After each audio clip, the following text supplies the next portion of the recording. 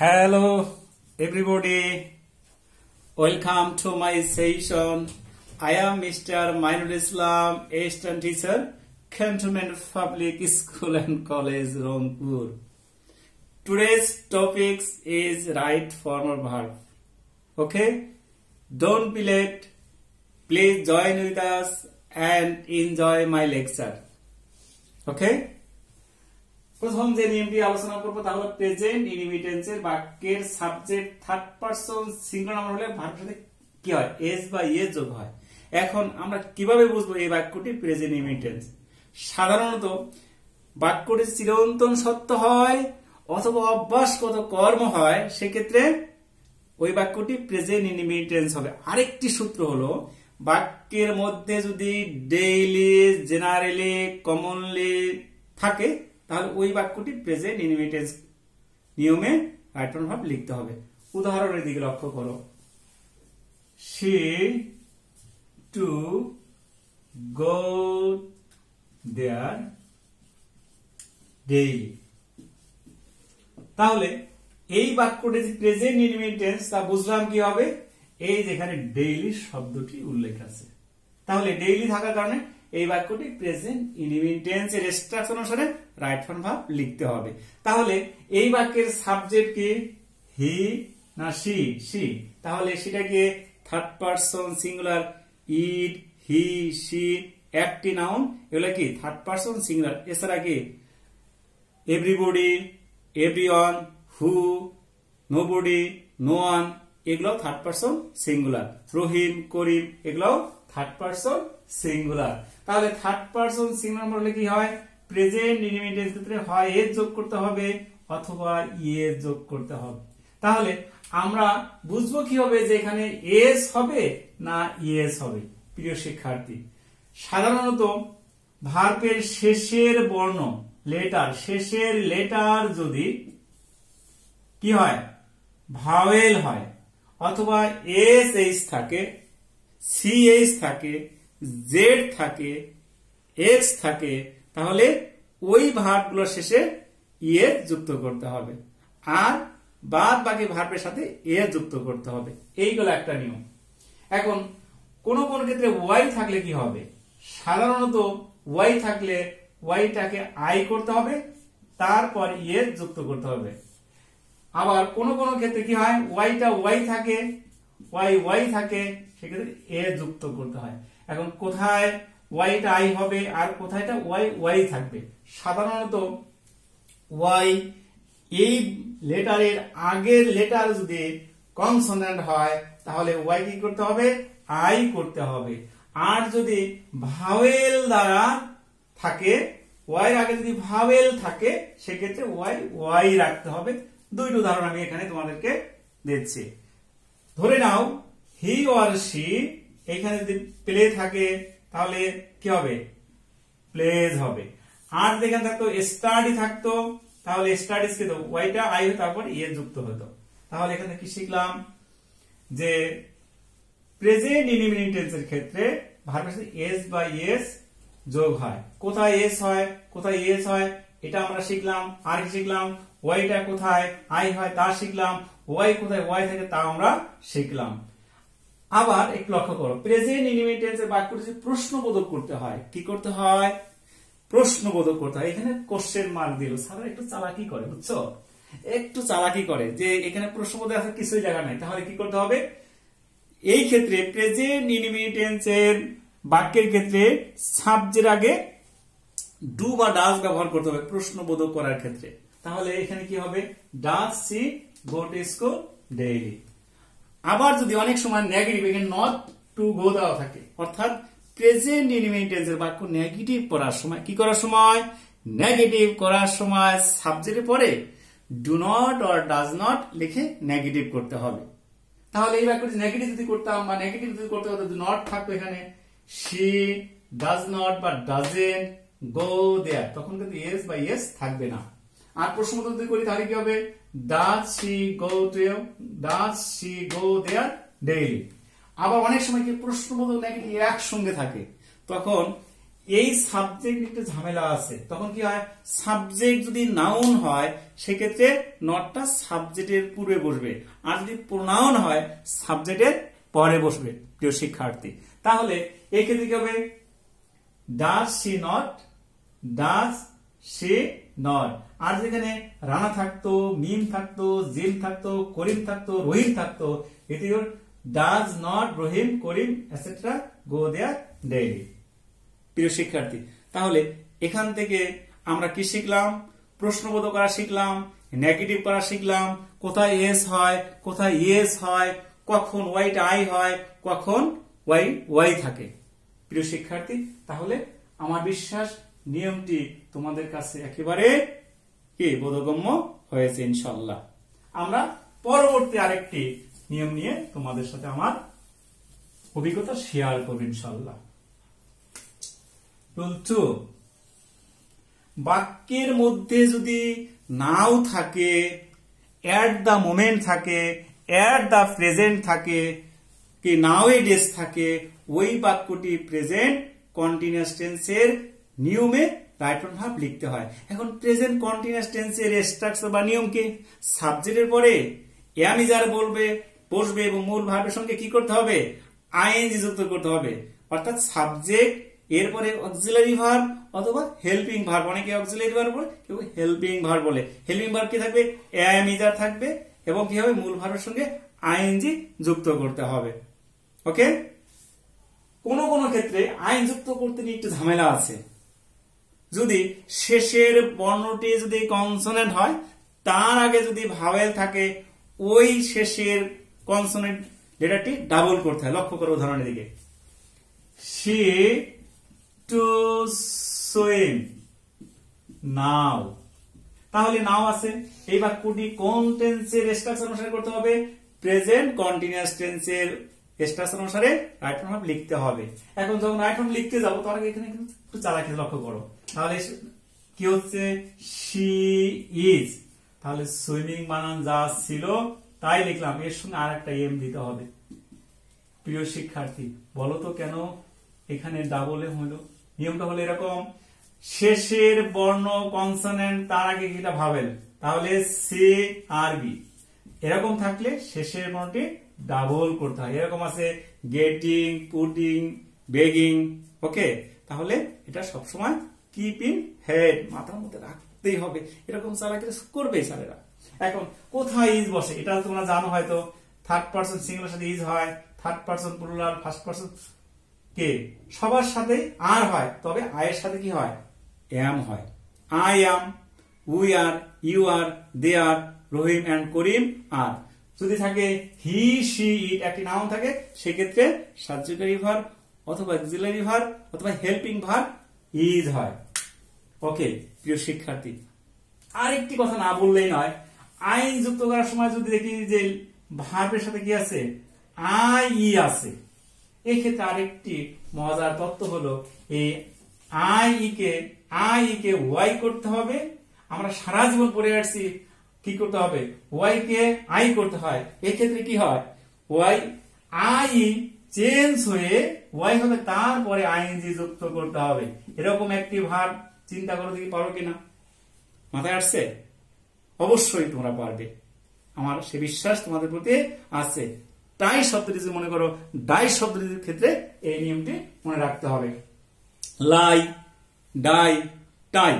তাহলে উদাহরণ দিকে লক্ষ্য করো। সি কি বলছিলাম? যে ডাই, টু ডাই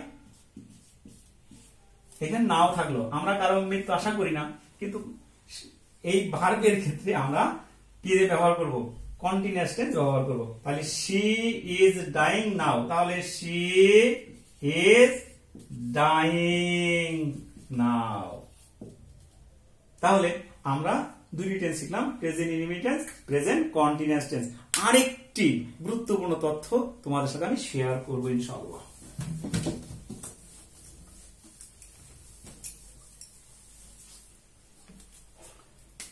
উদাহরণের দিকে লক্ষ্য করো। She to cook rice already তাহলে বাক্যের মধ্যে যদি অলরেডি থাকে রিসেন্টলি থাকে জাস্ট থাকে জাস্ট নাও থাকে, তাহলে ওই বাক্যটি কি করতে হয়? প্রেজেন্ট পারফেক্ট টেন্সের স্ট্রাকচার অনুসারে রাইট ফ্রন্ট ভার্ব লিখতে হবে। তাহলে প্রিয় শিক্ষার্থী, বাক্যের শেষে কি আছে এখানে? অলরেডি শব্দটি এয়ার আছে। তাহলে এই বাক্যটি কোন টেন্স হবে? প্রেজেন্ট পারফেক্ট টেন্স হবে। এখন প্রেজেন্ট পারফেক্ট টেন্সের স্ট্রাকচার অনেকেই চিন্তা করছে, কি হবে কি হবে, কি হতে পারে? আসলে খুব সহজ। Have has verb three have has verb three হলেই সে বাক্যটি নিঃসন্দেহে তুই চোখ বন্ধ করে দিতে পারবে যে এই বাক্যটি প্রেজেন্ট পারফেক্ট টেন্স কি থাকবে? হ্যাভ হ্যাজ ভার্ব থ্রি থাকলে কি হবে? প্রেজেন্ট পারফেক্ট টেন্স হবে। তাহলে উদাহরণের আনসার কি হচ্ছে? শি হ্যাজ এখন এই অলরেডি ছোট্ট একটা নিয়ম আছে। যদি অ্যাডভার্বগুলো ছোট হয়, সেক্ষেত্রে সাহায্যকারী ভার্বের পরে লেখাই ভালো অলরেডি তাহলে কুকের ভার্ব কি? কুকড রাইস তাহলে আনসার কি দাঁড়াল? Already she has already cooked rice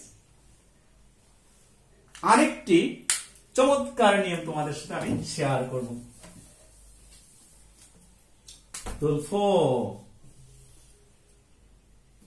যদি বাক্যের মধ্যে সময়ের সামনে যদি ফর বা সিন্স থাকে, আমরা বুঝব কীভাবে?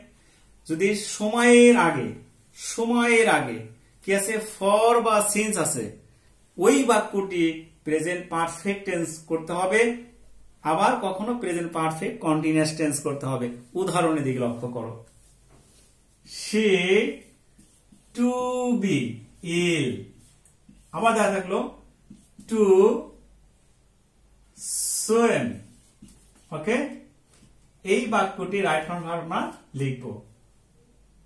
সি টু বিল এখানে লিখলাম for seven days seven days তাহলে এটা সময় আগে আছে ফর আছে। তাহলে এই যদি টুবি থাকে, আমরা লক্ষ্য করব, সময়ের উল্লেখ আছে, আবার ফরও আছে, সব ঠিক আছে, কিন্তু বাক্যের ব্র্যাকেটের মধ্যে টুবি আছে। এই টুবি সমান সমান কি হবে? Have been or has been হবে। এখানে ভার্বের সাথে আর কোনো ভার্ব আনাও যাবে না। কিছু করাও যাবে না। শুধু হ্যাভ বিন বা হ্যাজ বিন লিখলেই বাক্যটি কি হবে? সঠিক ক্রিয়াপদ হবে। তাহলে প্রথম বাক্যটি কি? অ্যান্সার হচ্ছে শি টু বি তাহলে শি হ্যাজ বিন ইল এইটুকু হলো এটার আনসার আবার লক্ষ্য করো, সময়ের পূর্বে যদি ফর থাকে, ওই বাক্যে যদি অ্যাকশন ভার থাকে অ্যাকশন মানে কি? অ্যাকশন ভার বলতে go see love come read write এরকম যদি ক্রিয়াপদ থাকে, তখন কি করতে হবে? এই হ্যাভ বিন হ্যাজ বিন তো নিতেই হবে। তারপরে এই যে ক্রিয়াপদ আছে, এর সঙ্গে আইনজি যুক্ত করতে হবে। প্রিয় শিক্ষার্থী, তোমরা অনেকেই বুঝতে পেরেছ চালাকিটি। কীরকম? তাহলে কি হচ্ছে? She has been swimming swimming মানে আমি আগেই বলছিলাম যে ডবল এম হবে, কেন হবে? তাও ব্যাখ্যা করেছি। ফর সেভেন ডেজ আরেকটি কথা না বললে নাই সিন্স কোথায় বসে, ফর কোথায় বসে? সাধারণত নির্দিষ্ট কে? পয়েন্ট অফ টাইমের ক্ষেত্রে সিন্স বসে আর পিরিয়ড অফ টাইমের ক্ষেত্রে ফর বসে। অর্থাৎ বুঝব কীভাবে period of time R point of time. Period of time বলতে আমরা বুঝি, পিরিয়ড অফ টাইম বলতে আমরা বুঝি একদিন দুই দিন সাত দিন একশো বছর, পাঁচশো বছর, এক হাজার বছর, দুই হাজার বছর, এরকম সংখ্যার উল্লেখ থাকবে। আর পয়েন্ট অফ টাইমের ক্ষেত্রে সিন্স বসবে, বুঝব কীভাবে? যে সকাল হতে, বিকাল হতে, দুপুর থেকে, সোমবার থেকে, মঙ্গলবার থেকে, জানুয়ারি থেকে, ফেব্রুয়ারি থেকে, মার্চ থেকে, এপ্রিল থেকে, উনিশশো একাত্তর সাল থেকে। এরকম যদি থাকে, সেক্ষেত্রে আমরা সেন্সের ব্যবহার করব। তাহলে বিষয়টা ক্লিয়ার আমি আবার বলব, অনেকে ভাবতেছ, কোথায় সেন্স কোথায় পর আরেকটু মনোযোগী হও, আরেকটু মনোযোগী প্লিজ তাহলে নির্দিষ্ট সময়ের ক্ষেত্রে পয়েন্ট অফ টাইমের ক্ষেত্রে সেন্স সকাল হতে, দুপুর হতে, সোমবার হতে, জানুয়ারি মাস থেকে, ফেব্রুয়ারি মাস হতে, উনিশশো একাত্তর সাল হতে, দুই হাজার বিশ সাল হতে, তাহলে এরকম যদি থাকে, হতে থাকে তাহলে সেক্ষেত্রে সিন্সের ব্যবহার করতে হবে। আর যদি এক ঘণ্টা থেকে, দুই ঘণ্টা থেকে, সাত দিন থেকে, দুই দিন থেকে, এক হাজার বছর থেকে এরকম যদি সংখ্যা উল্লেখ থাকে, সেক্ষেত্রে ফর বসবে। আর আর কি শিখলাম এখান থেকে যে টুবি থাকে, এরকম যদি সময়ের আগে সিন বা ফর আছে টুবি থাকলে কি করব আমরা? Has been R have been ব্যবহার করব। Has been third person singular হলে হ্যাজ আর যদি অন্য পার্সন সাথে কি বলবে? হ্যাভ বিন বলবে। তাহলে এখানে কি পাইলাম আমরা? She has been ill for seven days পরের বাক্যটি পেলাম কি? She has been swimming for seven days প্রিয় শিক্ষার্থী, আরেকটি নিয়ম সম্পর্কে তোমাদেরকে আমি ধারণা দিব ইনশাল্লাহ উদাহরণে দিয়ে লক্ষ্য করো, she to go there yesterday. Yesterday. এই বাক্যটি কোন টেন্সের স্ট্রাকচার রাখতে ভাবে লিখতে হবে? এখানে মনে রাখতে হবে যে বাক্যের শেষে বা বাক্যের মাঝে যে কোনো জায়গায় যদি কি থাকে স্টার্টে থাকে লাস্ট লাইট থাকে লাস্ট ডে থাকে, সেক্ষেত্রে কি হয়? পাস্ট ইনভিটেন্সের যে স্ট্রাকচার সে অনুসারে ভার লিখতে হবে। তাহলে এখানে আমরা কি পাবো? এখানে ভার টু হবে। পাঁচ ইনভিটেন্স স্ট্রাকচারকে সাবজেক্ট হবে ভার টু আর যদি প্রশ্নবোধক করি, তাহলে ডিড ব্যবহার করতে হবে, তারপরে সাবজেক্ট মূল ভাবে প্রেজেন্ট ফর্ম করতে হবে। আর যদি নেগেটিভ করি না বোধক করি, সেক্ষেত্রে ডিড নট প্লাস মূল ভার্বের প্রেজেন্ট ফর্ম করতে হবে। তাহলে এই বাক্যটির শেষে মনে কোশ্চেন মার্ক দেওয়া থাকে, তাহলে হবে ডিড শি গো দেয়ার এস কার্ডে আর নেগেটিভ থাকতো নট গো থাকতো she did not go there yesterday আবার যদি প্রশ্ন মতো না বোধক থাকতো, তাহলে didn't she go there yesterday আর যদি অ্যাফার্মেটিভ সেন্টেন্স থাকতো শি ওয়েন্ট দেয়ার ইয়েস্টারডে আরেকটি গুরুত্বপূর্ণ নিয়ম তোমাদেরকে ধারণা দিব। She to have rice tomorrow okay তাহলে বাক্যের মধ্যে যদি টুমোরো থাকে নেক্সট থাকে, তাহলে ওই বাক্যটি ফিউচার ইনিমিটেন্স অর্থাৎ সিম্পল ফিউচার ইনিমিটেন্স হবে। অর্থাৎ সাবজেক্টের পরে শ্যাল উইল মূল ভার্বের প্রেজেন্ট ফর্ম হবে। তাহলে এখানে কি দেখতেছি আমরা? টুমোরো আছে। তাহলে আনসার কি হবে? সে উইল এই ক্ষেত্রে থার্ড পার্সন আমরা কি বলছিলাম? হ্যাজ বসে, এখানে কি হ্যাজ বসার সুযোগ আছে? ফিউচার টেন্সে no has no has keep it head bear in mind okay dear তাহলে, she will have rice tomorrow okay tomorrow. এই বাক্যটি যদি আমরা প্রশ্নবোধ করতাম, তাহলে will she will she have rice tomorrow প্রিয় শিক্ষার্থী, আরেকটি কথা না বলে নয় উইলের সঙ্গে যদি নট যোগ হয় শেলের সঙ্গে যদি নট যোগ হয়, তাহলে কি হয়? সে উইল নট হলে ওন্ট হয়। আর শেল এর সঙ্গে নট শ্যান্ত হয়, এটা keep in keep in head or bear in mind মনে রাখতেই হবে।